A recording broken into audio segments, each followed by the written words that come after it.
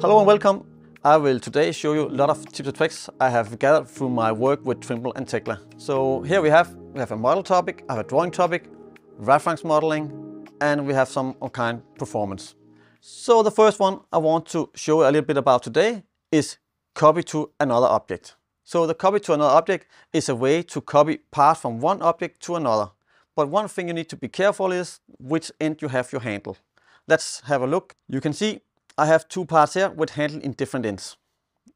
Now I would like to copy the two steel parts from the bottom part. So while doing that, I will first select them. Then I will right click here and start the command. So go for the copy to another object. Then click which object I want to copy from and which object I need to copy to. And here we can see that it comes in in different ends because the handle points is different. That is another way I can come around that small problem. So if we look at another tool we have, copy to another plane. With copy to another plane, I go in and set a plane and I go to the other part and set also a plane. And from that plane, it will put in the parts. So let's have a look at that here in the live. So I click my two parts and I want to copy them up here. So I start the command and this time we use the one to another plane. So I need to define my plane here. So first I find my origo, then my x direction, and then my y direction. When I have them in place, I can choose exactly the same just on the other part. And now Tekla knows exactly how to put in these two flanges. So the next thing I want to talk a little bit about is the copy linear. Uh, the copy linear you already know it's a common tool in Tekla, but you know that you can use calculation for it. I will today show you here a way to use calculation. So here I have two parts and I would like to make nine parts between with the same distance. So I start the tool as the normal way we do with the linear copy. And from here I pick my two points between the two parts I have already. And now I can go in and put an equal sign in front. That means I can do calculation. So now I divide it with 10. And I do that for my x and also for the z direction because here I have a distance as well I need to divide. And then how many pieces I want to have. So I get 9 pieces in with the same distance between. That can of course be done in an easier way if I want to use my work plane first. So let's have a look at that. So now I take my work plane I set the work plane here with the two points, and then the work plane will follow the, the edge here. So again, starting the copy linear tool, and now when I pick my two points, I can see I only get an x direction into the tool. Now I only need to divide that one, and it's a more easy way, and only with the 9 again. And then we see I get the same result, but just easier and an easier uh, number to work with. So this one also something you already know, that you know that you can put parts in by writing x, y and z and, and it comes in. But do you actually know that you also can write an angle and a length? So let's have a look at that. So in this video here you can see I now will put in a beam but not with only a place. Now I actually put in an angle. So I say it should be 1000 long but with an angle of 45 degrees. And now you can see I get 45 degrees around this column. But what if I want to have it in the z direction going up? That's also something we can do. So here is the next example. I put in 1000, then a 0 and then 45. Then we will go up instead of around. So that's two good ways to put beams in with an angle. So we can measure here to see it's correct. So here I've measured the one, you can see 45, and the other one also going that way around the, the column, and you can see that's 25, uh, 45 as well. Then the next one is direct manipulation. A lot of people using direct manipulation to manipulate the parts in the model, but do you actually know that you can actually do more than there are in the normal standard setup? So let's have a look here. So normally when you go to direct manipulation, you have one single line here you can change your part width in the length. The same if you go for plate, you have all the dimensioning at the side and you can drag them and you can change your, your plate size, size. But actually there can be more. So now we can actually add some extra handle here. Go to the mini muse bar, mini toolbar, and if you go down here, you can actually put on extra dimensioning, X, Y, and Z. So now when I hit the mouse over the line again, you can see I have more lines to deal with. So now we have more ways of working with the direct manipulation. The same here for a beam. I can also go in the same place, change it to have more X, Y, and Z on. Now you can see I also can drag it in the X and Y direction. So that's a pretty cool thing to get more flexibility with working with direct manipulation. Okay, let's continue. So the next thing I want to talk a little bit about is uh, when you are doing things in your model, you do some cuts, you do some bolts, welds, and sometimes you cannot find the objects. So the object will be um, hidden or just placed really, really long away. It's hard to find it. So here is a good tips to how to find related object in the model. So let me show you here. The first thing I do, I first turn all things off in the model so I only see parts. And then hit the modify for that. Then all other things are gone. Then I find the part I want to find the associated part with. And actually on that part, I say show only selected. So now I only see that single part in the whole model. Now the trick is select that part and delete it. When it's been deleted, when I now hit the undo, all the related part will be visible in the model. And if I zoom a little bit out here, I can actually see something has hidden a really long away up there. There's a cut. And now I can delete that cut if that was the cut I need to delete. So that's a really, really easy way to find parts related to a part. If you cannot find them, then this trick is helpful. So the next topic here is actually about undo. So how we can undo in the model. There's actually two things I want to highlight for you. There's the first one, undo history we have in the top, and then there is the undo last picket point. So here we have the undo last picket point. I pick some points.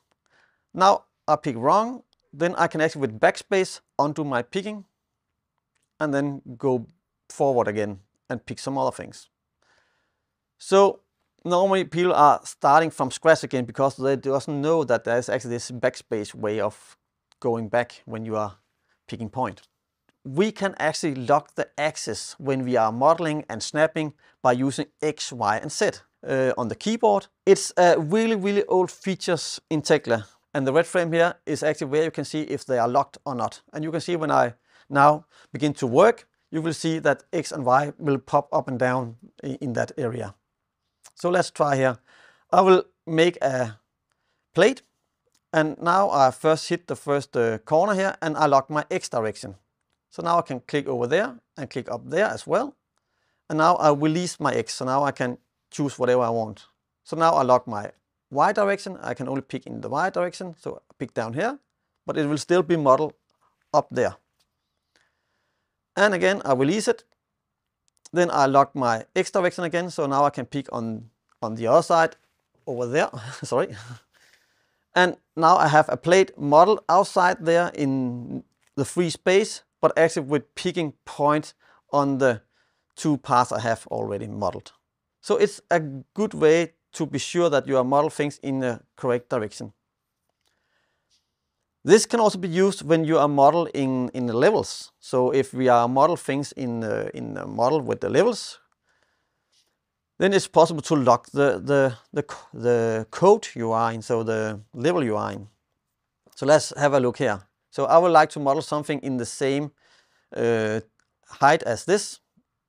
And now I have locked my Z direction. So if I pick down here, it will still model things on the top it doesn't matter where I pick, it will still put all things in. If I pick down here, it will still model things on the same level I have locked my X to. So I can continue, model something else, model a, a foundation over here as well. And you can see still it will be in the same level because I have locked my Z direction.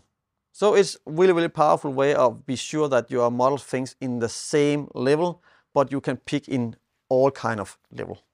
One of the a little bit newer things that I Tekla is this search bar. It's really, really good, but you need to know that you can only search for name, profile, material, and position number. That's the things that's working down here. Here I have a model. And now I will do the model so we can see what I'm selecting. So now I will search something here. I will search for a profile. And now I search for the whole model. So it finds all the ones called 100 times 10. I can also do it in selected area. So now I will take the other one over here and it only finds the part that are in the selected area. And now I can actually do some changes to this one directly from the sidebar. So I can now change them to 20 instead of 10. So an easy way to find all the profile with the same size and then change them. This is also a pretty old good tips, but the select report is something I always tell my customers about. I think it's a powerful way of working in Tekla. Um, when you have the selection report, if you don't know what it is, I will show a little tips about it right away. But first I would like to show you that, tell you that we have this combination we can use.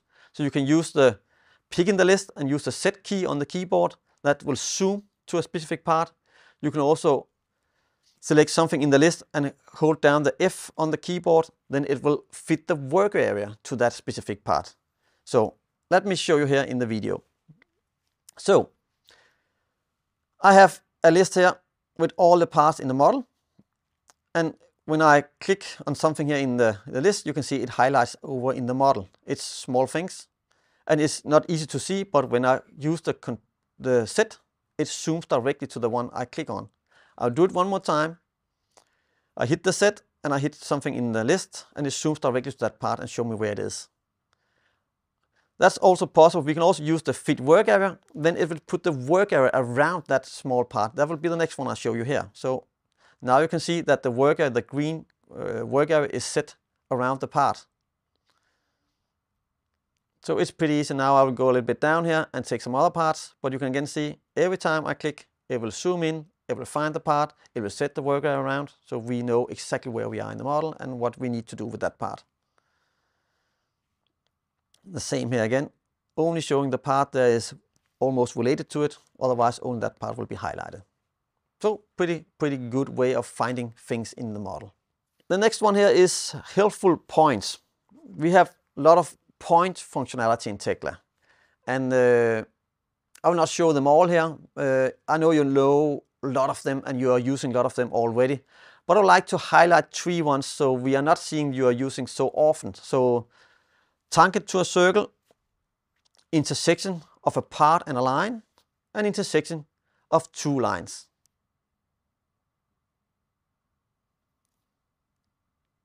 So this one is the intersection. So we have the line here and we have the other line here and it finds the intersection point between these two lines. Now it gives me a point and I can actually zoom to that point or build a part to that point like I do here. So that's an easy way to find exactly a point where these two parts are connected to each other and then build from that. Mini toolbar, create drawings. That's a new functionality in some of the new version of Tekla. So you can actually create your drawing directly from the mini toolbar. You can also open the drawing directly from the mini toolbar or show the drawing in the drawing list. Let's have a look at how that works. So first I have a part I need to create a drawing. So I go down here, create single part drawing. And I go down again, and I can see the single part drawing is there. I can also go down here and make assembly drawing.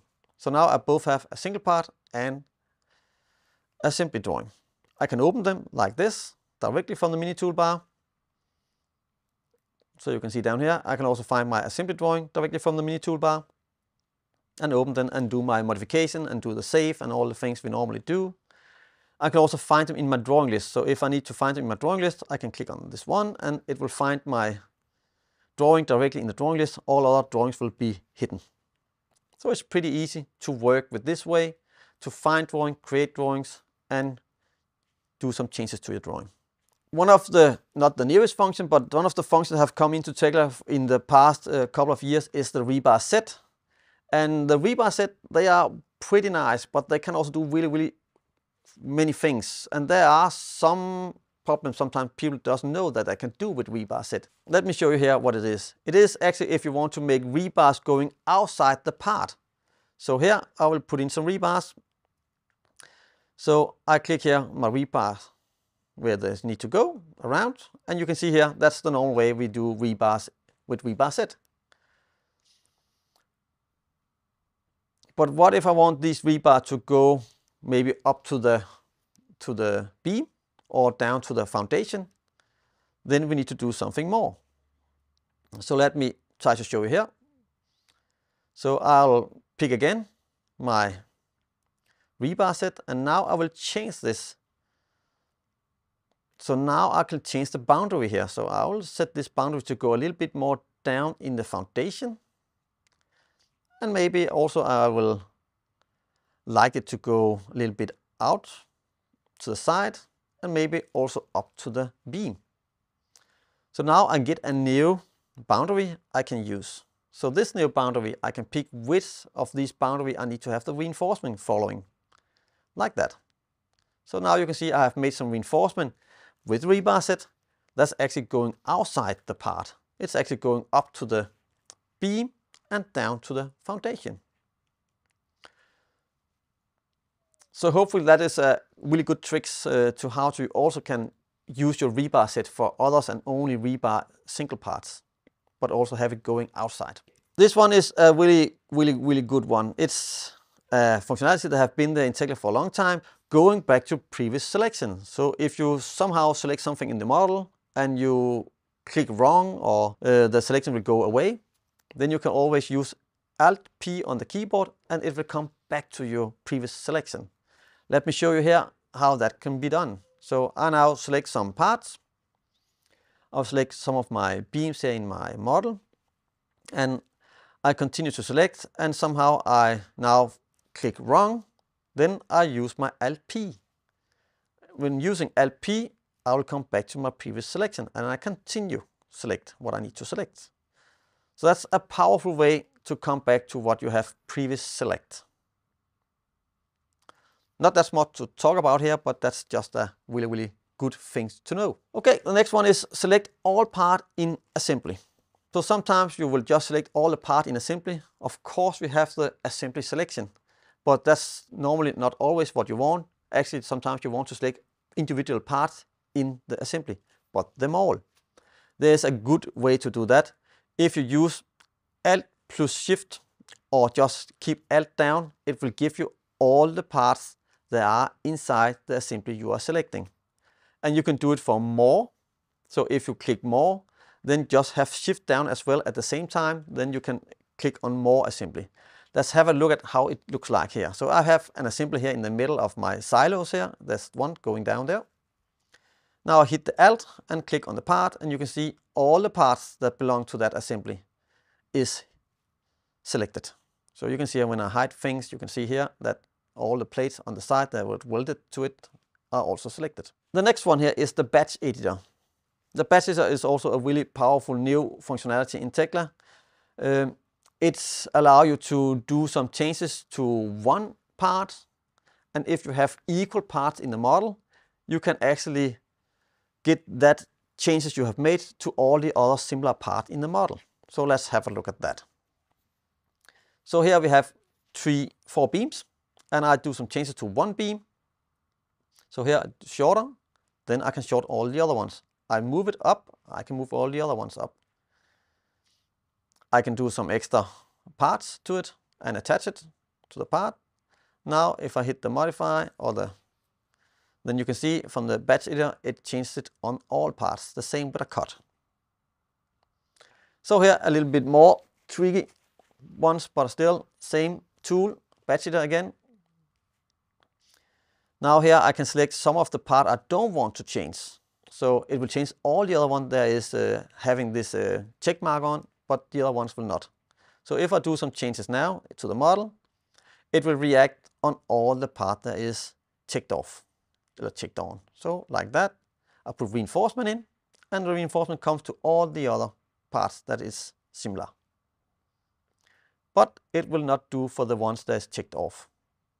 So for in this case, four beams that will not be changed. So that's how we can use the batch editor. It's really powerful and it also help you not doing by mistake a little bit changes to one of the part. So it give will give it a new number. But in this way here, Tekla will keep the number and you will always have equal number for all these equal parts. Keyboard shortcut. Hide work area from, from model. So we have this green box here that is the work area. Sometimes if you want to make screenshots or anything from the model, it's irritating to have this green frame around and we can get that away. So if we do a redraw that we normally do, but then hold shift and control down at the same time when we do the redraw, this box will go away. So let's have a look. It's good for making screenshots. So I go down now and take the redraw and have these two keys down. It will go away. And without, it will come back. So that's just an easy way to get it on and off. Then another small keyboard shortcut. If you make a drawing and you actually want to see the drawing at the same time you make it, then you can actually get the drawing being created and in the same time being opened up. So that's with Control Shift. Then you can hit the create drawing and it will come up when you create it. So let's have a look here. So in this case here, I will open the, the new way of doing drawings. And here, if I hit the create and hold control and shift down at the same time, it creates a drawing as normally, but it opens up at the same time. So now I can directly go in and see if the drawing is okay and close it and then I'm finished. Then the next thing here is overlay drawing in the model. So sometimes it can be really nice to see your drawings inside the model to see if it's placed correctly and see if things are uh, to, for do some kind of quality check on your on your on your drawings on also on your model. So let's let's have a look here. It's a pretty old uh, functionality, but it's still really really good to know how to do it. So I go in here on a drawing. And this drawing here, we can see I have some dimensioning at the top here. I have some dimension over here. I have another drawing here. That's a foundation drawing. I have some, I can put some dimension in here. So we can see what changes another dimension here at the other way for this foundation. And we can look at the last drawing here. This is the drawing with a detail here in the middle and that detail actually I can go out here and also do some small changes to that. So let's put in a, a dimension here. It's just to put in some dimensions so you can see actually how all these things I put in now will be, be visible in the model uh, when I go out to the model and overlay the drawings. So three drawings have been changed a little bit. Now I'll go to my model and now the trick is to get the drawing visible in the model. So I go down here to snapshot, then I get the snapshot up of the drawing, and now up here we have the overlay functionality. I will set it to blue colors and overlay. Then if we turn around and look into the model here, we can see that the drawing is visible in the model now. And I can see exactly where the drawings have been taken from. And if I zoom in, I can see all the details that is in the drawing. So here my dimension line I was putting on and also the other one I was putting into the, the detail so we can see all the things are here. If I take another drawing, so that was my foundation drawing, here we can see it's placed on the foundation and it also have the dimensioning I have added. So all the things coming directly from the drawing to the model view. So it's, it's not something, it's just more like that we can do some quality control and, and see is it okay, does it look fine? Um, yeah. And the same here goes directly to the end here. So yeah, that's the way of doing the overlay of drawing in the model. This is overlay drawing in drawings instead of overlay drawings in model. So here I would like to do some changes to my model first.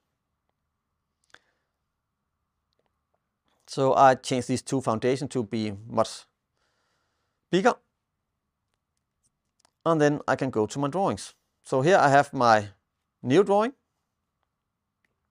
And in my new drawing, I can overlay the old drawing. So I can see the changes from the last drawing to the new drawing. And I can see what had happened. So that's overlaying between a old drawing on a new drawing but I can also take this drawing and overlay it to another drawing that is in my list. Like that. So now I open up here another view or another drawing. And here I overlay my foundation. And now I can use that to align my columns. So I'm sure that this view here or this drawing will look will be placed in the same uh, location on both drawing. So place it up there. And now I'm sure that they are placed totally equal on each drawing. Yeah, and then save, and then I'm sure that when I print these two drawings out, the column will be exactly on top of each other. Show drawing views in model. So that's, again, a, little bit the same, but again, another way, because we have talked about showing drawings in the model, but now we are talking about showing drawing views in the model. And we can actually do some changes to these drawing views. Uh, so when we do changes in the model on these drawing views, it will actually update the drawing. So there's a, a little uh, icon uh, you can see. We have it uh, here. And you can see if we click on that one, we get this menu we have a little bit up there. And that menu will be used. So let's see here in action. So here I have a drawing.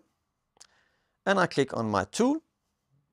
And here it comes up with all my views. So here, this is a drawing with uh, three, three views or something like that. I can zoom in here and see I have a section view down here and I have a detail view.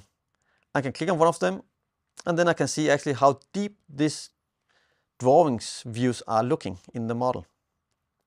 And I can do some changes to this. So now I can cut it so I can see exactly what there are in the drawing.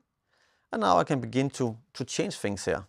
So if I don't want to have the drawing to or the view to look so deep, I can change the depth. So it only looks with that dip at, let's set it to 250. And the same here in the other end, I can set it to something smaller. So that's actually a good way. And if I now press OK to this, then it will actually update the drawing as well. So when we go in later on and look at the drawing, it will actually be updated so you don't look that deep down in the model in the view. So yeah, let's take the next one. So this one here is also a same functionality, but just one of the other uh, features there are. So let's have a look at that. So here again, I click on one of my views I have got into the model. And here you can see, I can see all my views and I can actually switch between them with this drop down. So I can take whatever I want. Now I take the detail again that we have showed before. So I can go in here and look at this detail. I can actually do things with this detail. I can see also I have a small section here. So that's another view. I can see how it looks like, which plane it is in. And also here I can do some changes to that one if I want. I can get a plain view of that. So if I click here, I look directly into that. So I just need to hide this one here. So it's laying on top of it. But now you can see I get a view looking directly into this cut. So looking at the same way as it does on the drawing. And from here I can do some changes. I can do some model changes. I can do some changes to the view, whatever I need. Let's take one more look at this one. Again, here we have a view. I zoom directly into that view and we can actually do some changes to this. We have the rotation as well. So you can actually rotate the view directly from the model. So now you can see I rotate this one. Maybe that's easier if I want to figure out how much of the bracings I want to show. So now it's easier to drag in these lines to show how much I want to show of the bracings on the drawing. So exactly what we see here is what I get on the drawing. If I click OK to this now, I will get exactly that view on the drawing. So the last thing, but not the least thing, because this is one of the good things here. Here we can actually move the view from one place in the model to another. And that's something we have, that's a good new feature we need. So let's see here. I have a view So that's a section view. Now I can actually drag that view to another place. So now I drag my view to a totally another place. And when we have dragged that view, we can also decide which way the view should look. That's the small arrow we have, showing which way we are looking in the drawing. So there's a, here I can change, change it by clicking this button, and then we are looking the other way around. So now I click OK and save it. So when I open the drawing again, we will actually see that this uh, section have changed. So now we're looking from the other side directly into the same building. So just by changing things in the model, it will actually update and change things in the drawings. Main view on drawings. Sometimes it's not always easy to decide which side of the main view that will be up and down. But we actually have this one called fixed drawing main view. If we set that on the part, we can decide which one should be the up direction. So we have this top, back, bottom, start, end, front. If we set that, then we just need to go into the drawing and say that the drawing should be created by looking at this fixed drawing main view. So let's have a look at that. On the drawing, there's something called fixed drawing main view and we need to use that one. So it's a little bit small here, but you can see I go in here and then I set, set this one to, I think I set it to back, I cannot see it, but I think it was to back. When I click the back, the view will change and I will see this part exactly from the back. So as you see in the small uh, drawings I have made uh, here, with I have the arrows on, there's the back arrow, and that's the one we are looking exactly down on right now. The same thing we can actually do, this was a part, but if we have an assembly, we can do exactly the same for an assembly. It's just using the main part of the assembly and set the same properties and set the same properties on the drawing as well. Then that will affect the whole assembly, how we will see it from top, back, front, or where we want to see it. So again, put it here on the drawing to fixed, and then it will follow the fixed drawing main view I have set in the model. So in this here I have set it to bottom. So if I take the, the fixed on the drawing, it will look from the bottom. And here just show you where it is. So if you are inside your, your drawings, you can find the settings up here. So, and it's just set it to fixed. Drawing dimensioning. So again, I have taken these three with me today so there's uh, three good ways uh, to tips and tricks to how to do some drawing dimensioning. Especially if you have some uh, bolts or some other things you need to dimension and, and they are not uh, perpendicular to the part you want to dimension, then sometimes it can be hard. But let's, let's uh, have a look here at uh, good ways to do that. And so here, I would like to dimension these two parts or two bolts. When I try here, it goes pretty okay. I can put it down here. And then I can add some extra dimensioning. That's one way to do it. Add perpendicular dimensioning. So the other way around, if I need to do it on the other side, I just pick the two part here and you can see now I can pick easily the other way of the dimensioning. Let's have a look at the radius dimensioning. So when you want to do a radio dimensioning, you need to pick exactly correct points. If you not click the same correct points on the line, you will get a wrong dimensioning. So you can choose to decide if you want to select the middle points or end points, but just you need to do the same every time. So let's have a look here how it will goes. So first, I try to put in here my dimensioning and I pick my radius, so I pick some different points, put it in, and I can see it's not giving me the correct uh, radius. And if I pick something else, try again, different ways, it gives me too high radius.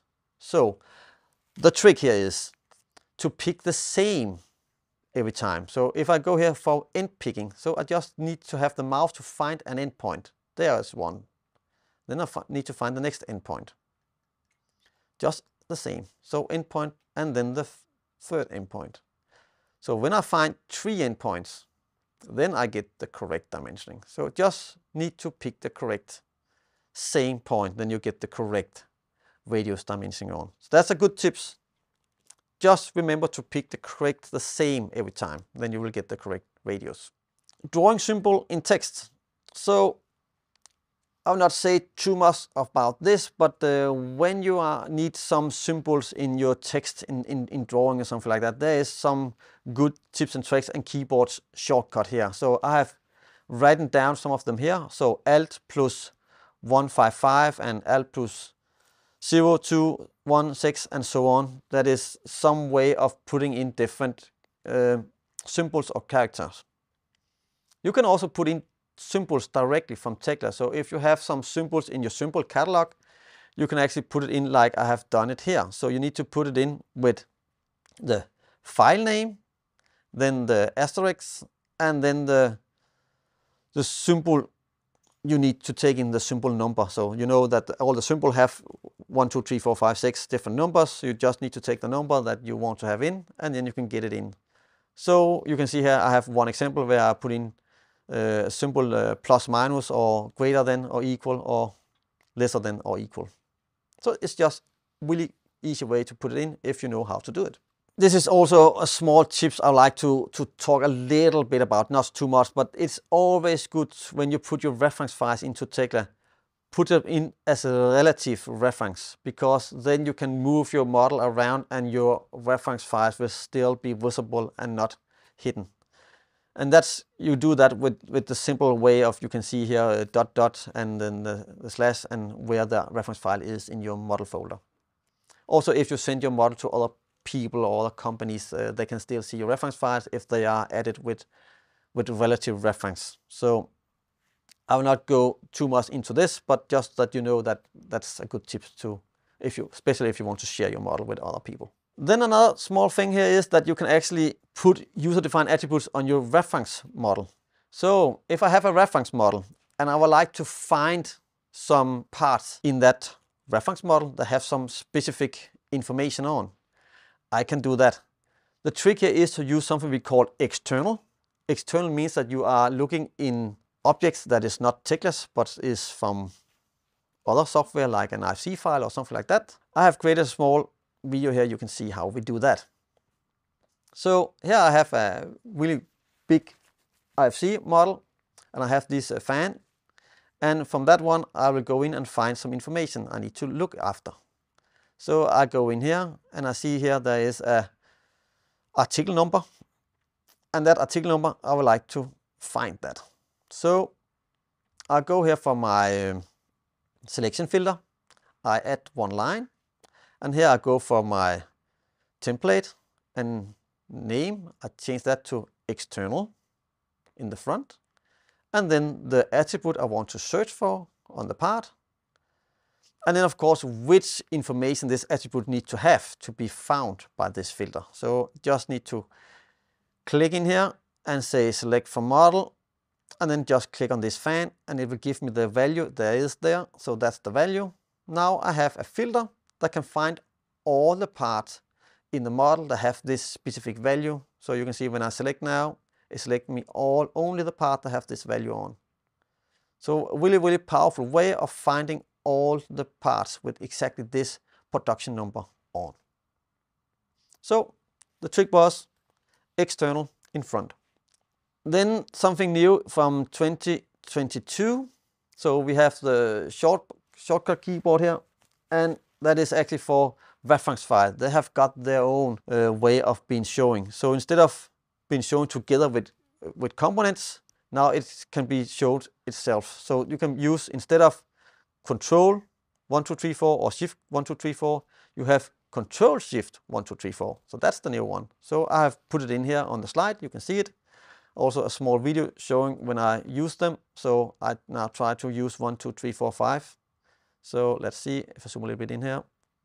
So one, two, three, and four, and five. So that's the new way of looking at reference files. Okay, next thing we will talk about is performance. So a avoid round parts in the model is always good, especially if it's a part that you know that will come in a lot of times in the model. So in this example here, if we look at this uh, part down here, zoom a little bit in, we can see this is made with a polybeam. And this polybeam is actually having faces. We have faces around all these area at the polybeam. So that means that Tekla needs to use uh, memory on calculating all these faces. If we look at a column here, this column only has six faces. So it's much, much faster for Tekla to actually make this big concrete column than this uh, special uh, rebar. It's not a rebar, but it's a polybeam. What we prefer you to do instead of using a polybeam here is actually using a rebar because a rebar is much, much lighter for Tekla to use. In my mind, this one is a no-go and this is a yes for rebars. So use rebars instead and special, now this is a lifter. So if you have thousands of lifters in your model, you can definitely see the difference here in, in, in performance. I just made some small calculation here so you can see if I made this polybeam thousand times in the model, it takes one minute to create a GA drawing. But if you made it with a, a rebar instead, it will take three seconds. Now this is a pretty old um, uh, calculation, so this time has changed now, but still there will still be a lot of performance to get if you use the rebar. The same if you are modeling studs. Uh, again, don't use the, the, the beams for that, round beams, but instead using the bolt command or something else uh, that is not required that much uh, faces. So again, not that one, but use the the the bolt command or the studs command or rebars or anything if you can do that instead. That would be much better. Just some small calculation for if you have a lot of these in your model, it can take really, really long time to, to work with the model drawings, section views and stuff like that. And you can see here, if it was studs we have used instead, we are now on 20 seconds and, and so on instead. It's much, much better and faster. Also avoid when you are doing your own um, embeds. Don't do the embeds too detailed if you don't need it. Normally an embed is just more like a placeholder for what you want to buy from a fabricator or something like that. So you actually doesn't care how detailed it is. You just know that there should be some kind of uh, insert there and you know the size of it and that's enough for you. The same if you are making hollow core slabs. Uh, if you are doing a inner contour like I'm doing here, please keep as few point as possible. So here I actually need to make this round, but instead of making all the points around, I can actually go up here and use a chamfer for doing that profile. And that makes me only have one chamfer at the top instead of many chamfers around. And also here in the corner down here, instead of having two chamfer, I only have one and then I can change this uh, this chamfer down here to be 40-40 and then I get it's like I want. So just some small tips again, keep them as few point as possible when you do inner contour for your for your profiles and other things.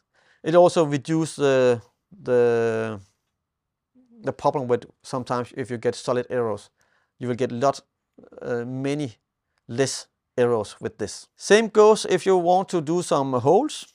If you want to do some holes in your parts, please don't make the holes with a, a cut uh, like this, a polygon cut or part cut, but use the bolt functionality to make your holes instead. That's much, much faster for the program. It's much, much better for your performance. So this is definitely a no-go and this is uh, okay to go with. A little bit the same again, if you need to make a plate, then model all the, the handles with a plate will be better instead of making cuts. Of course, you can also use uh, less point by again using the, the, the points you have and then use a chamfer on them.